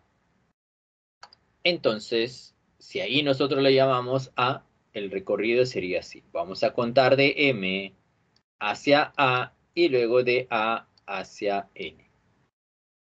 Ya contamos primero de M hacia A. ¿Qué puede hacer? Bueno, pueden aplicar acá pues el método del conteo, ¿no? El método del conteo, ponen acá 1, 1, 1, 1. 1 más 1, 2, acá sería 3, acá sería 3, acá sería 6. Y así sucesivamente terminan con los puntos de aquí, terminan con los puntos de acá y llegan hacia A. ¿Sale eso, profe? Sí, sí sale. ¿Qué va a aplicar pero este profe? en este caso, lo que ustedes ya posiblemente se imaginen. Toda esta estructura está formada por paralelepípedos y no le falta ninguna arista a esos paralelepípedos. No le falta ninguno. Todos se encuentran ahí. Entonces, cuando les indiqué que todos estaban, podríamos utilizar la formulita, ¿no? ¿Cuál es la formulita? Bueno, la formulita es, este, según estas direcciones, vamos a analizar pues aquí de M hacia A con la derecha. ¿Cuántas derechas hay? A ver, de A, derecha y derecha, hay dos para la derecha. Ahora vamos hacia abajo. ¿Cuántos hacia abajo? Uno, dos, dos hacia abajo. Y hacia el fondo para llegar aquí, uno, dos, dos hacia el fondo. Entonces hay dos derechas, dos hacia abajo y dos al fondo. Total, total, va a ser igual a 6. Entonces sería permutación con repetición de 6 en 2, 2 y 2. Entonces permutación con repetición de 6 en 2, 2 y 2. ¿Cómo se halla esa permutación con repetición? Allá, factorial de 6 sería 6 por 5 por 4 por 3 por 2 factorial sobre 2 factorial por el otro factorial de 2 es el mismo 2 y el otro es el mismo 2. cancelamos aquí 2 por 2, 4, eliminamos con esto, 6 por 5, 30 por 3, 90. O sea, de M hacia A hay un total de 90 rutas distintas. Bien, pero ahora falta aquí terminar, pues, ¿no? Porque ahora vamos a terminar de A hacia N. De A hacia N, bueno, si quieres, puedes ponerte a practicar con el método del conteo, ¿no? ¿Se puede hacer? Claro. Ve, a la derecha va a ser 1, a la derecha va a ser 1. Hacia el fondo va a ser 1, hacia el fondo va a ser 1. Aquí va a llegar derecha y al fondo 2. Aquí derecha y al fondo 3. Aquí derecha y al fondo 1 más 2, 3. Y aquí derecha y al fondo 3 más 3, 6. Entonces ya está. Ya tenemos entonces ahí un total de 6. ¿Ven? Entonces aquí pasamos en limpio de A a N. Acá va a ser 1, 1. Por acá va a ser 1, 2, 3. Por acá va a ser 1, 3, 6. Listo. Entonces, ¿de cuántas formas distintas hay acá? Aquí sería de 6. Por el principio de multiplicación sería 540 rutas distintas, ¿no? Y 540 se encuentra en la alternativa A. ¿Ven? Listo. Bueno, ¿alguna duda o alguna consulta?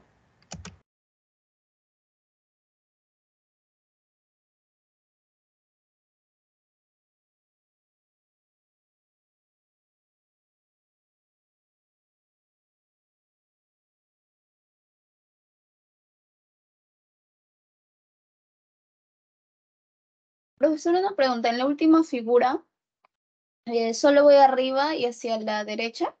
¿O cómo me indican las direcciones? Ah, ¿en cuál de ellos? ¿En esta última parte? Sí. Ah, ya, mira, eso usted, para que se dé cuenta, tiene que ver cuál de estas rutas son las que se puede llegar, ¿no? Por ejemplo, mira, a este punto solamente yo puedo ir a la derecha. ¿Sí? O sea, existe esta dirección nada más. ¿No existe hacia el fondo? No, porque no hay nadie que esté viniendo por acá y llegue a este punto. ¿No existe hacia abajo, profe? Tampoco, porque no hay nadie de acá arriba que baje hacia ese punto. No hay este ni hay este, hay una única dirección. Por eso es que acá llegamos de 1. Igualito por acá, también pues va a ser este mismo 1. Lo mismo por acá. Para esto, de estas direcciones, solamente hacia el fondo. ¿Ve? Hacia el fondo. ¿No hay nadie que baja, profe? No, no hay ningún segmento que esté bajando, pues. ¿Sí? Ni tampoco un segmento que llegue hacia la derecha, por acá. Entonces, por eso es que acá ponemos uno. Ya, en cambio acá sí llegan dos direcciones. Las direcciones que llegan son estas dos de acá arriba. Llega a la derecha, claro, con el 1. Llega hacia el fondo, claro, con 1.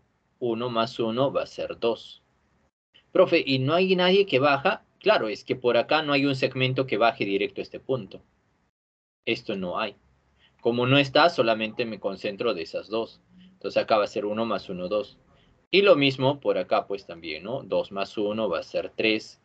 Por acá va a ser 1, 1 más 2 va a ser 3 y 3 más 3 va a ser 6. ¿Sí? O sea, en esta última parte no hay nadie, no hay puntos acá arriba que vayan bajando pues, ¿no? Hacia esos vértices. Por eso es que ahí ya no afecta pues esa tercera ruta o esa tercera dirección. ¿Sí? No sé si me dejo entender. Sí, profesor, gracias. Ya, muy bien, Andrea.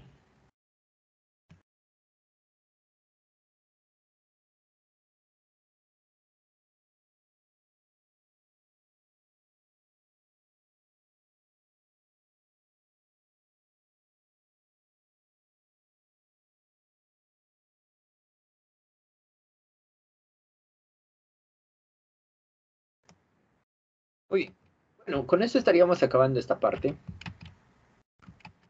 Parte aquí sobre este.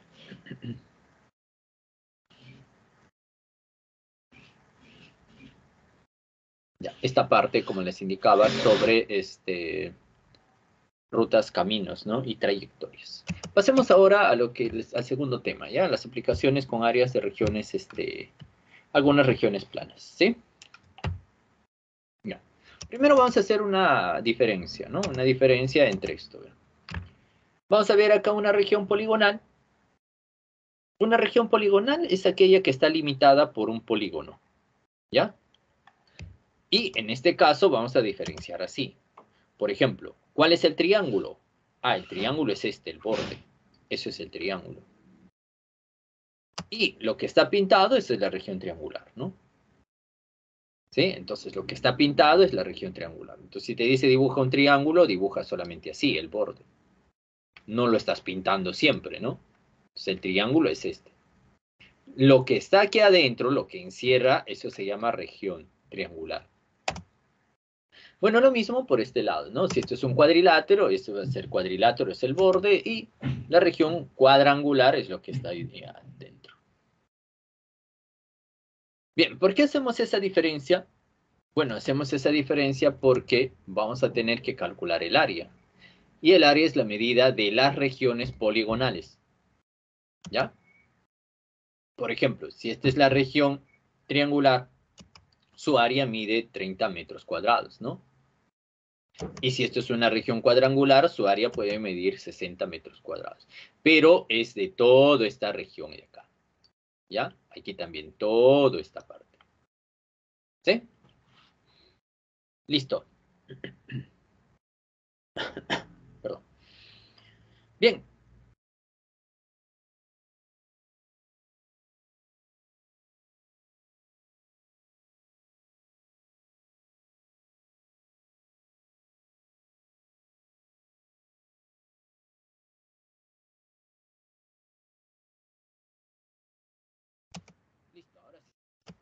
Nuestro interés es, ver las aplicaciones de las áreas de las regiones, ¿no?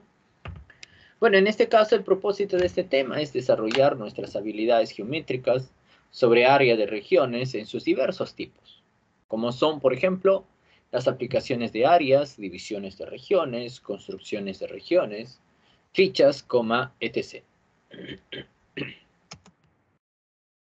un ejemplo sería esta, pues. Dice que en la figura mostrada, ABCD representa un terreno de forma triangular, donde la región sombreada corresponde al jardín. ¿Ya? Esto es el jardín. Además, si se sabe que BC es igual a 4 veces AD y AC es igual a 4 veces AE, si el área total del terreno eh, ABC es de 1196 metros cuadrados, hay el área de la región que corresponde al jardín. ¿Ya? Entonces el área dice de todo esto, ABC es de 1196 metros cuadrados.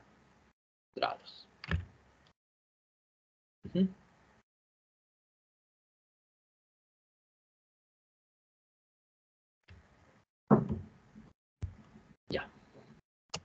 Bueno, empecemos a hacer aquí este los cálculos. ¿ven? Bueno, lo primero que voy a hacer aquí es observar lo siguiente. Dice que se sabe aquí que AC es cuatro veces AE. O sea, si esto vale N, todo esto vale cuatro veces N. Por lo tanto, esto vale 3N. ¿Listo? Bien, entonces eso me hace acordar una propiedad. ¿Qué propiedad? Una propiedad que decía así. Si yo tengo un triángulo y en ese triángulo está partido en la relación, por ejemplo, de 1 a 3, entonces sus áreas también están en esa relación. Si este de aquí es B, esto es 3 veces B. Entonces las áreas están en la misma relación. Entonces para que eso funcione, vamos a trazar esta seviana. Trazas esta seviana. Y trazado esta seviana, podríamos trabajar ahora dentro de este de este triángulo. Ya. ¿Qué va a pasar dentro de ese triángulo? Dentro de ese triángulo vamos a aplicar lo que hemos indicado. ¿Ya? Dar la relación de 1 a 3, entonces aquí también esta es la relación de 1 a 3. ¿Ya? Entonces, esto va a ser B y esto va a ser 3B. Bueno, ahora, también como BC es igual a 4 veces a DC, entonces si esto vale m, todo esto vale 4m. Entonces aquí vale 3m. Listo. Bien, y ahora Ah, ahora quiero que nos podemos concentrar en este triángulo. En este triángulo con esta seviana. Entonces, en ese triángulo con esa seviana, si aquí está M, 3M, entonces sus áreas también están de 1 a 3. Entonces, por acá, si esto es M, 3M, entonces esto es A, 3. Ya está. Bien, pero ahora ese mismo vamos a utilizar para el triángulo ABC. Entonces, en ese triángulo ABC, la relación de las áreas va de esta manera. Si acá va una área S, entonces acá va a estar el triple. Entonces, en todo este triángulo, acá está la seviana, donde aquí esto es A más 4B. Entonces aquí arriba, en todo esto, debe de estar el triple. Y el triple sería 3 veces A más 12 veces B. Allá. Ah, Pero como la región sombreada es 3A, entonces esto va a ser 12 veces B. Entonces ya tenemos ahí 12 veces B. Bien. Ahora vamos a regresar al triángulo ABC, ¿ya? Y en ese triángulo ABC vamos a utilizar ahora esta relación de 1 a 3n. ¿Ya? Esa relación. Entonces, regresando a este triángulo, por acá, toda esta área de verde es igual a cuánto? Es igual a 4a más 3b, o 3b más 4a, como decía. Esto. Pero si esto está en la relación de 1 a 3, si esto es R, esto vale 3R.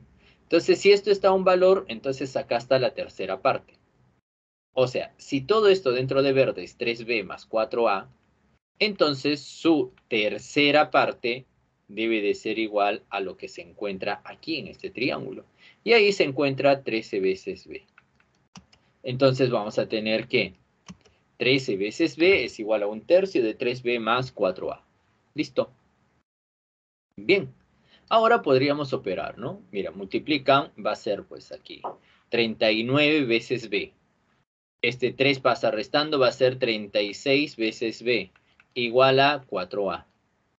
Cuarta, cuarta, entonces A va a ser igual a 9 veces B. Entonces ya tenemos ahí A en términos de B. Profe, ¿para qué quiere eso? Es que sería excelente ponerlo todo en términos de B, pues. Entonces, esto sería 3 por A, 3 por 9, 27 veces B.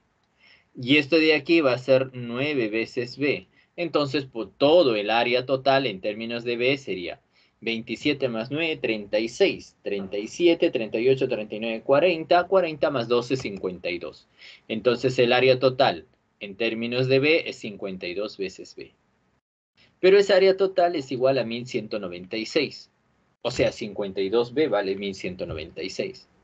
De donde el 52, si pasa dividiendo a 1196, nos va a quedar 23. Entonces B va a ser igual a 23. Y si B vale 23, entonces reemplazamos aquí, pues, ¿no? Esto sería 9 por 23. Y entonces tendríamos que A es igual a 207. ¿Para qué queríamos A? Bueno, nosotros queríamos el valor de A porque nos estaban pidiendo hallar el área del jardín. Y el área del jardín era igual a cuánto? A tres veces A. Entonces el área buscada sería pues 3 veces A. Y como A vale 207, 3 por 207, 621. Y 621 se encuentra en la alternativa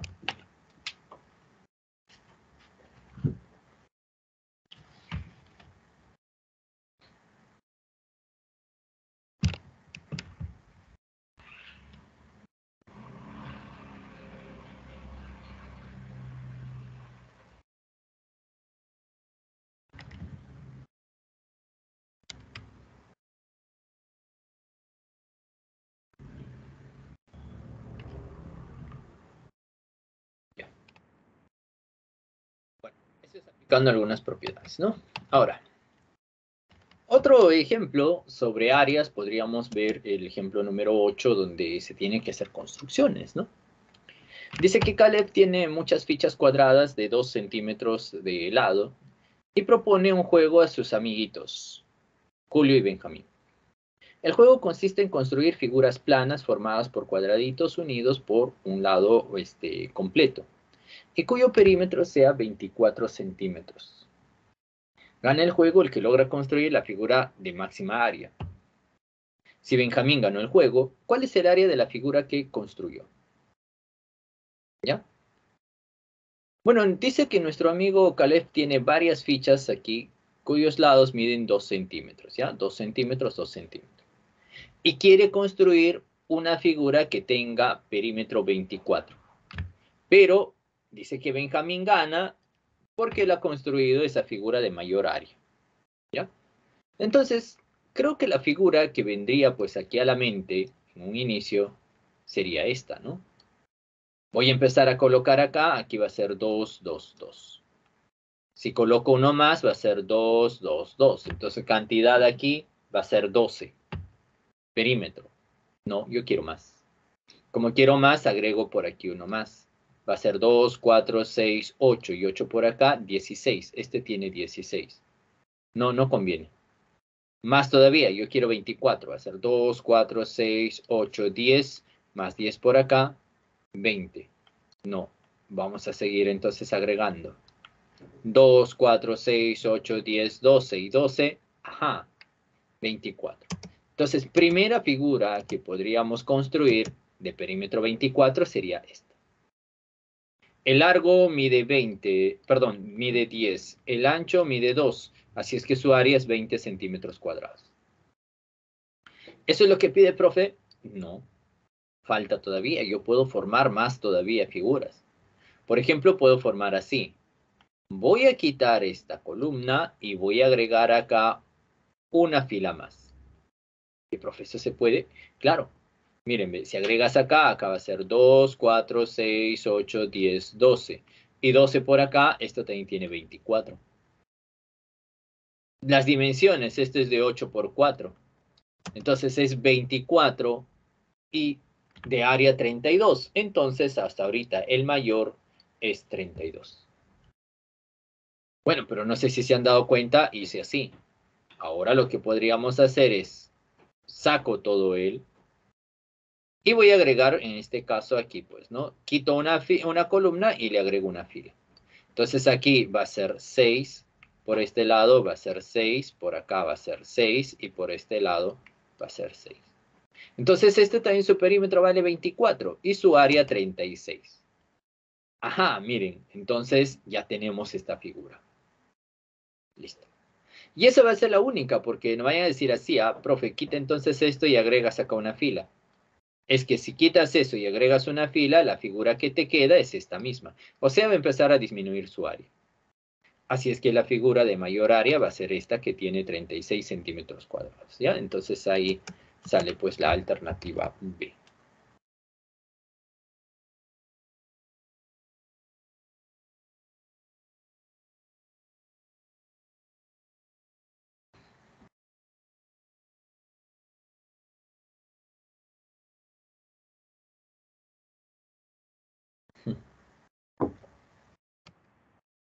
Eso era haciendo construcciones, ¿no? Muy bien. Vamos a pasar ahora este, a trabajar con los ejercicios de clase, ¿no? Bueno, les voy comentando que el ejercicio número 6 que ustedes tienen, si tienen buena memoria, ese ejercicio 6 ya se ha desarrollado en una clase anterior, ¿no? en la semana número 13. Ya, ahí se ha desarrollado. ¿Sí? Bueno, pero como la idea es que ustedes no disminuyan su cantidad de preguntas, entonces vamos a cambiarle por otro, ¿ya? Vamos a poner un reemplazo del ejercicio número 6 y vamos a trabajar con este. Ya, este que es el reemplazo del ejercicio 6. Bien, ¿qué dice en esta pregunta? Dice que la figura muestra una pieza de madera rectangular cuyas medidas están en centímetros. Sobre esta pieza se han trazado líneas rectas. Después se hacen cortes por las líneas, eh, quedando varios trozos de madera. ¿Cuál es el área de la región sombreada? O sea, nos están pidiendo esta área. ¿Ya? Entonces vamos a calcular esa área. Miren, les doy la idea, ¿ya? Para calcular esa área, vamos a calcular primero el área de todo, el área de todo, Y después le vamos a quitar esta área y le quitamos esta área de acá. Y con eso voy a tener el área de la región sombreada. ¿Ya? Pero para eso vamos a hacer algunos trazos adicionales, ¿no? Por ejemplo, lo primero que voy a hacer es trazar un segmento paralelo, pues, ¿no? Aquí a largo, ¿no? Paralelo a este lado, que pase justo por este punto. Ya, ahora. Bueno, ¿por qué se hace ese trazo? Ah, es que miren, la idea es trabajar en estos dos triángulos. Noten estos dos triángulos como son. Si a este yo le llamo alfa, este de aquí va a ser alfa. Si este yo le llamo beta, este de aquí va a ser beta. Si esto yo le llamo gamma, esto es gamma. O sea, estos dos triángulos son semejantes. Ahora, esto es 4 y todo este, el, el ancho va a ser 12. O sea, está en la relación de 4 a 12. E, entonces, si tengo dos triángulos semejantes y están en la relación de 4 a 12, entonces todas sus líneas notables también están en la relación de 4 a 12. Por lo tanto, esto va a ser como 4 y esto va a ser como 12. ¿Ya? Pero noten, aquí esto es 4 y esto es 4K por 3. Entonces, como acá está 28, se darán cuenta que esto es como 7 y por aquí esto es 7 por 3, 28. Es decir, lo que estamos observando acá es que 4K es igual a 7. Entonces ya tengo ya que 4K vale 7. Listo. Bien, seguimos. Vamos a hacer ahora el que sigue. Bueno, ahora voy a hacer un trazo aquí. Voy a trazar este segmento. Esto vale 6. ¿Por qué, profe? Es que miren, acá ustedes tienen un triángulo rectángulo. He trazado un segmento perpendicular, donde este punto es punto medio, 14, 14. Entonces aplico base media, ¿no? Como esto vale 12, por base media eso vale 6. Listo. Entonces ya tenemos que eso es 6. Ahora, ¿para qué me ayuda eso? Nuevamente, quiero que observen aquí.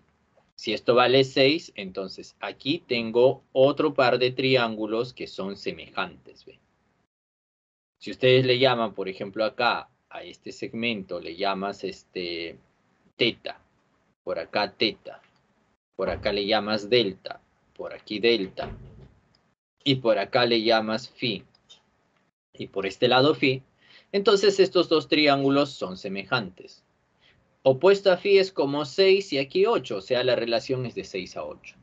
Por lo tanto, si yo trazo acá un segmento, esto también va a partir en la relación de 6 a 8. Bien, ya está partido de 6 a 8. Pero justo sumen, B, 8n más 6n, 14n. 14n igual a 14. Entonces n vale 1. Si n vale 1, entonces toda esta longitud es 8. Ya está. Bien, ahora sí. Vamos a calcular las áreas que les estaba indicando, ¿ya? Entonces no se olviden. Llamamos entonces este A, este B, ¿sí? Este A y este B. Y X. ¿Qué pasa si yo sumo A más B más X? A más B más X es el área de todo este triángulo. Área de este triángulo de base, 12. Y altura, allá, altura va a ser igual a 14. Entonces va a ser 12 por 14 entre 2. Eso sale 84. Así es que todo el área sale 84. Siguiente. Ahora, vamos a hacer en este caso el cálculo de A. Base vale 4. Altura era esto, pero recuerden que la altura habíamos colocado que era 7. Entonces acá sería, ¿no? 4 por 7 entre 2, 14. Y el de B, la base es 8 y la altura también era 8, ¿no? ¿Se acuerdan? 8. Entonces va a ser 8 por 8 entre 2, va a ser 32. Bien, entonces reemplazamos, pues, ¿no? Esto de aquí va a ser 14, esto sale 32, esto pasa restando al otro lado y esto también pasa restando. Entonces, X va a ser igual a 84 menos 14 y menos 32. Y 84 menos 14 menos 32, eso sale 38. Entonces el valor de X va a ser 38. ¿Ya? Y eso se encuentra en la alternativa A. Muy bien. Entonces, eso sería pues este el ejercicio que estamos colocando ahí reemplazo, ¿no? Como reemplazo de este como reemplazo del ejercicio que se estaba este, repitiendo. Bueno.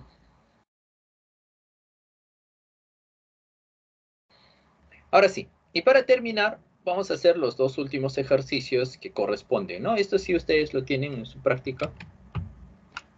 Ya, vamos a trabajar con los dos últimos problemas. Entonces vamos a hacer el problema número 7, que dice así.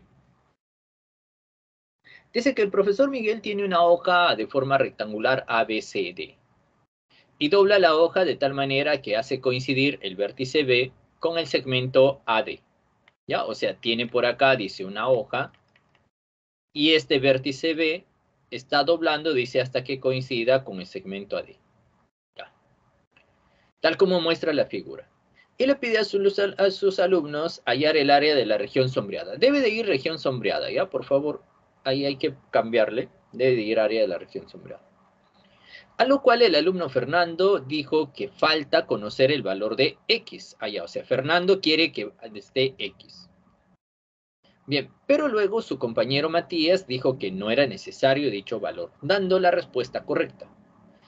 ¿Qué respuesta dio Matías? O sea, en otras palabras, nos está pidiendo cuál es el área de esta región acá, ¿no? ¿Cuál es el área de esta región sombreado? ¿Ya? Bueno, determinémoslo.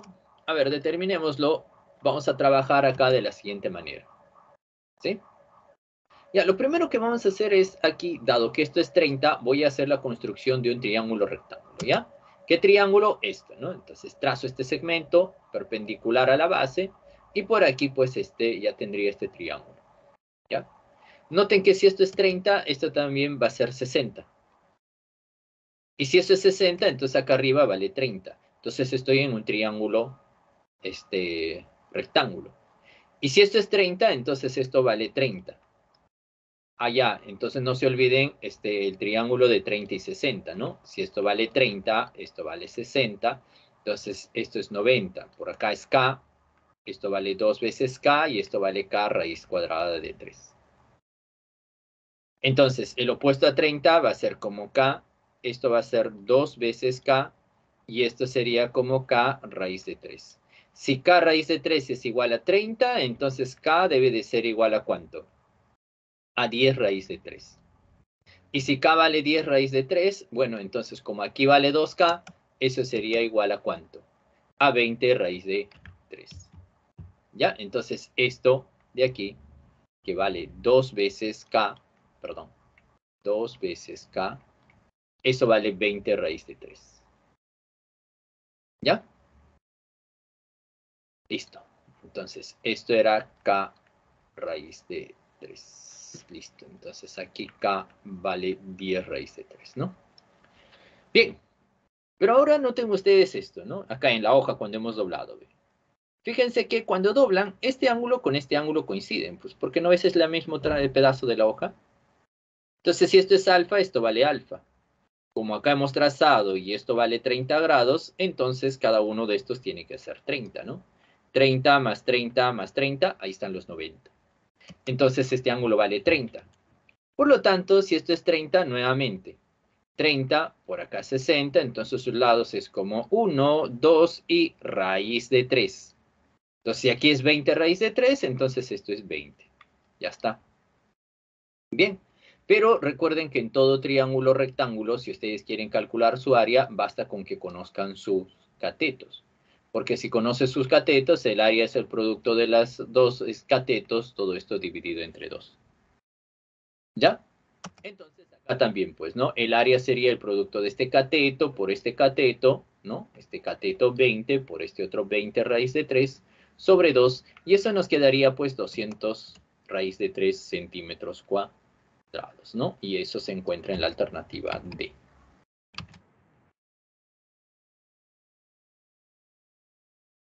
Listo, entonces esa sería la resolución del ejercicio número 7.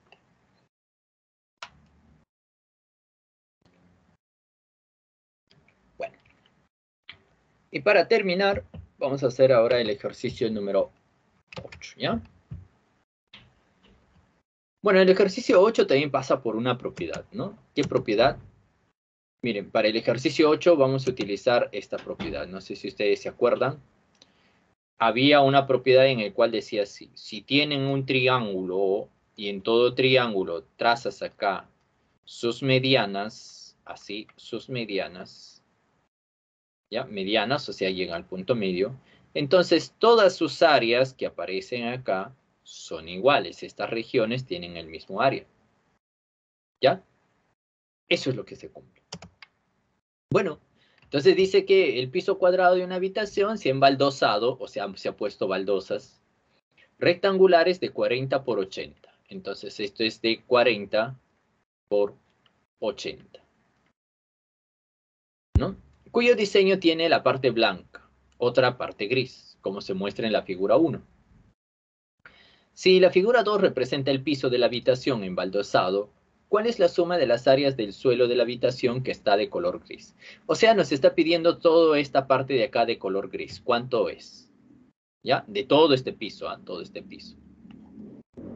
Bueno, pero fíjense que lo que está aquí es igual a este lado y es igual a él. Entonces bastaría solamente con hallar pues uno de ellos, en especial este. entonces lo primero que hay que recordar es lo, si ustedes tienen un rectángulo y traza sus dos diagonales, siempre sus dos diagonales se cortan en el centro. Y por lo tanto, este será pues punto medio. Entonces, para este, cuando trazas aquí este segmento, esto va a ser punto medio. Entonces, él con él son iguales. Ahora, por dato estaba trazado este otro, que llegaba también al punto medio. Entonces aquí esto es punto medio. Entonces yo puedo trazar la otra mediana y esto va a ser también punto medio. Y ahora utilizamos esta propiedad. Entonces ahí están trazados todos los, las medianas. Bueno, entonces todas estas áreas son iguales. Entonces esto va a ser A, A, A, A, A y A. Bueno, pero también en todo rectángulo, si trazas sus diagonales, estas áreas son iguales.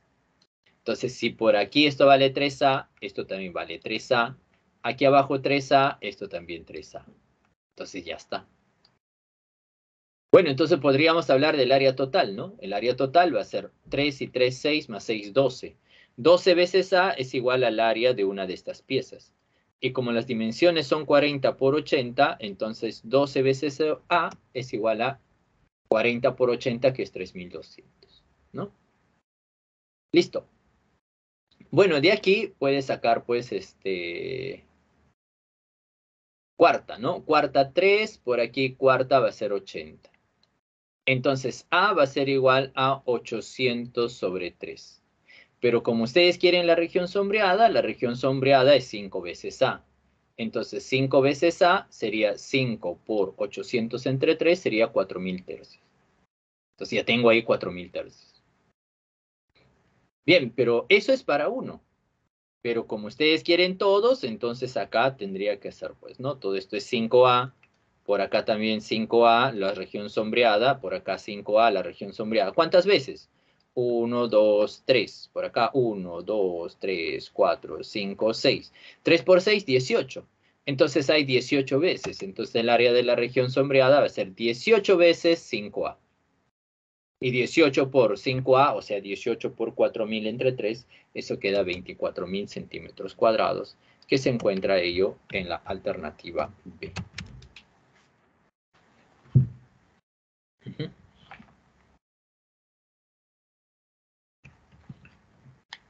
Listo.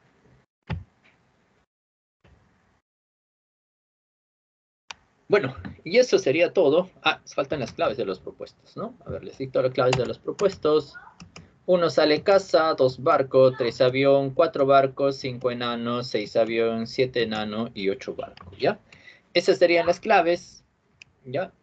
Uno avión, dos, perdón, uno casa, dos barcos, tres avión, cuatro, cuatro barcos, cinco enanos, seis avión, siete enano y ocho barcos. Bien, eso sería todo por mi parte el día de hoy. Muchas gracias. Muchas gracias. Ya, cuídense, que tengan un buen día. No sé si hay alguna consulta.